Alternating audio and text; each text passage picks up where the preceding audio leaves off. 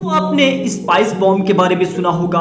परमाणु बॉम्ब के बारे में सुना होगा और यहाँ तक कि आपने हाइड्रोजन बॉम्ब के बारे में सुना होगा। आपने बहुत सारे बॉम्ब के बारे में सुना होगा और एक से बढ़ के एक एडवांस बॉम्ब बहुत सारे देशों के पास है। लेकिन दोस्तों, आज मैं जिस बॉम्ब के बारे में आप लोगों को बताने वाला हूँ, वो दुनिया का सबसे खतरनाक बॉम्ब है। जहाँ दोस्तों, दुनिया का सबसे ज़्यादा खतरनाक और यहाँ तक कि वो परमाणु बॉम्ब से भी ज़्यादा नुकसान कर सकता है। ये बात तो आप बिल्कुल जान लीजिए कि जिस भी देश के पास ये बॉम्ब होगा वो दुनिया का सबसे पावरफुल देश होगा और ऐसे में क्या सच में भारत भी ऐसा बॉम्ब बना रहा है या फिर नहीं? आज की इस वीडियो में बिल्कुल आप लोगों को बताने वाले हैं आज की वीडियो बिल्कुल बहुत ही ज़्यादा इंटरेस्टिंग होने वाली है। वीडियो के लास्ट तक आप लोग बने रहो। वीडियो शुरू करने से पहले आप लोगों से छोटी सी प्यारी सी रिक्वेस्ट है। अगर आप लोग हमारे चैनल पे पहली बार आए हो तो नीचे रेड कलर का सब्सक्राइब का बटन है। जाइए फटाफट चैनल को कर लीजिए सब्सक्राइब और बेल आइकन पे प्रेस कर लेना, ताकि हमारी वीडियो आप तक सबसे पहले पहुँच सके। आज के समय में ये तो बिल्कुल आपने ज़रूर देखा होगा कि किसी भी व्यक्ति को खाना भले ही एक दिन ना दिया जाए, लेकिन दोस्तों अगर उससे एक दिन मोबाइल दूर कर दिया जाए तो उसकी हालत बिल्कुल दयनीय हो जाती है। आज के समय में पूरी दुनिया में लगभग 80 परसेंट लोग इलेक्ट्रॉनिक से चलने वाले इक्विपमेंट पर आधारित हैं।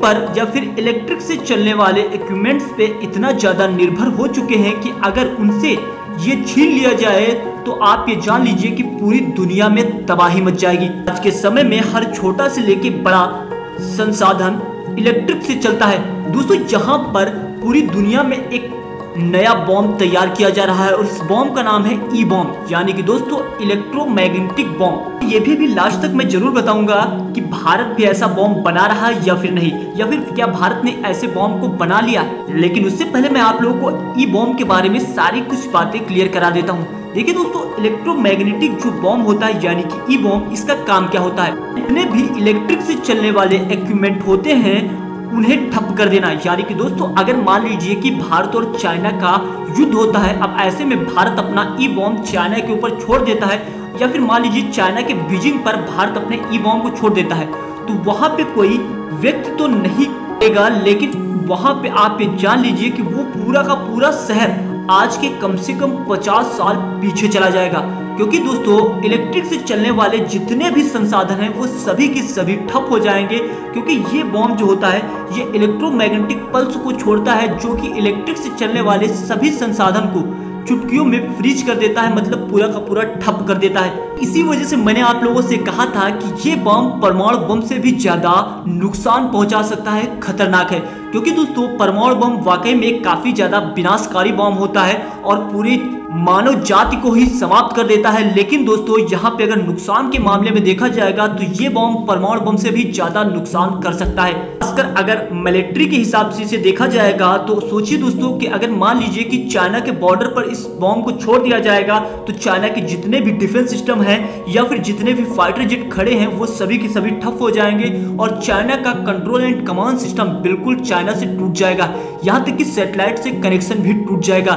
तो इस वजह से युद्ध के हिसाब से अगर देखा जाएगा तो ये बॉम्ब दुनिया का सबसे अच्छा बॉम्ब होगा और किसी भी देश को मात्र कुछ ही मिनटों में के तले ला सकता है। अब बात करते हैं क्या सच में भारत भी ऐसा बॉम्ब बना रहा है या फिर नहीं? दोस्तों 2013 में डीआरडीओ के डायरेक्टर जनरल और डिफेंस के साइंटिफिक एडवाइजर यानी कि यानी कि अविनाश चंदन ने एक मीडिया साथ इंटरव्यू में बताया था कि भारत भी जहाँ पे इलेक्ट्रोमैग्नेटिक बॉम्ब बना रहा है और ये बात 2013 की है, तब से लगभग 9 से 10 साल हो चुके हैं। अब ऐसे में ये भी कहा जा सकता है कि भारत इस बॉम्ब में काफ़ी ज़्यादा सफलताएँ भी हासिल कर चुका होगा और हो सकता है भारत ने बनाकर चोरी से रख भी लिया हो।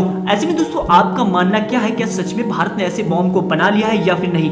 तो नीचे कमेंट्स बॉक्स में अपनी राय आप ज़रूर दीजिए और आप हमारी वीडियो को कहाँ से वॉच करते हो, ये भी लिखना बिल्कुल मत भूलिएगा। चलते चलते बस आप लोगों से एक छोटी सी प्यारी सी रिक्वेस्ट है। अगर आप लोग हमारे चैनल पे पहली बार आए हो तो नीचे रेड कलर का सब्सक्राइब का बटन है। जाइए फटाफट चैनल को कर लीजिए सब्सक्राइब और बेलाइकन पे प्रेस कर लेना ताकि हमारी वीडियो आप तक सबसे पहले पहुँच सके। दोस्तों, चलता हूँ, मिलता हूँ नेक्स्ट वीडियो में। जय हिंद, जय भारत।